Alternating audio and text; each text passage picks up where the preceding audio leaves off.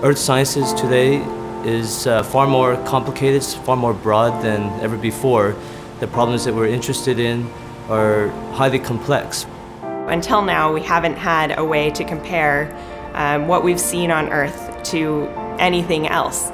But now we have a great deal of data from other planets, and so we're able to look back and see Earth in a different light.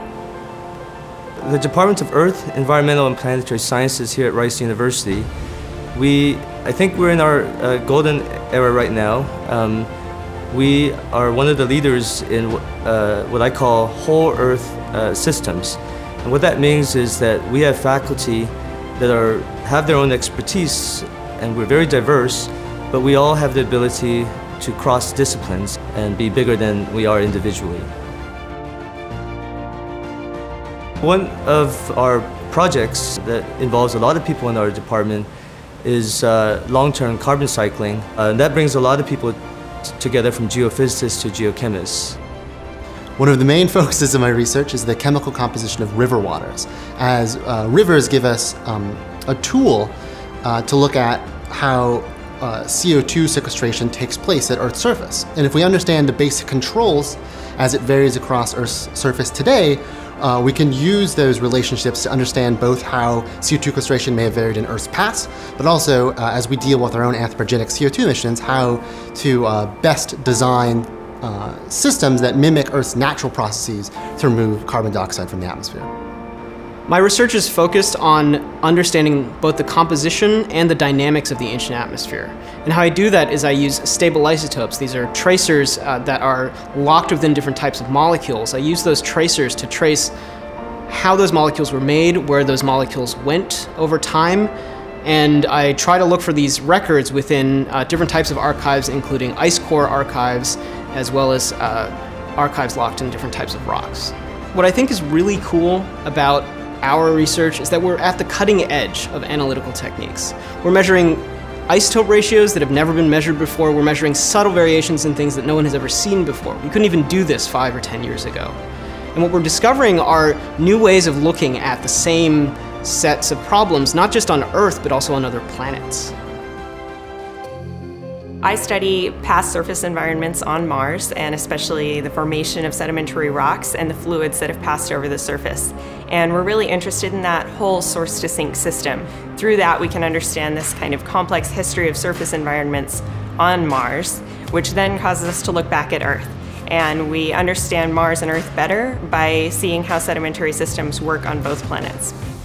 Another one of our projects is uh, continental dynamics. And that too brings together seismologists, those who use earthquakes to study the deep structure of the earth, all the way to geochemists and petrologists and uh, uh, environmental uh, scientists. I studied the deformation of rocks, uh, so how rocks respond under stress. And um, I do that primarily experimentally. So I have a lab where I subject rocks to high pressures and temperatures, and then I try to um, simulate the processes that happen on the Earth. Recently, I've been working in, in central Texas, about five hours from Rice University, where we suddenly uh, gain access to a private ranch, a very large one, which has this unique, world-class outcrops of reefs growing you know, uh, in an ocean 500 million years ago, Upper Cambrian, made by microbes and bacteria. And you can see the outcrops in this private ranch are unique and almost you know, kind of unseen and unobserved anywhere else in the world.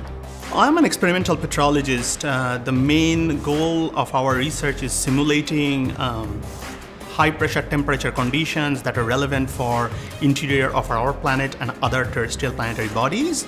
And the type of questions we ask are what happens to the rocks or other materials that are present in the deep interior, how they undergo partial melting, how they generate magmas, how different volatile elements dissolve in them, and how such processes end up eventually affecting what we observe at the surface of the planet.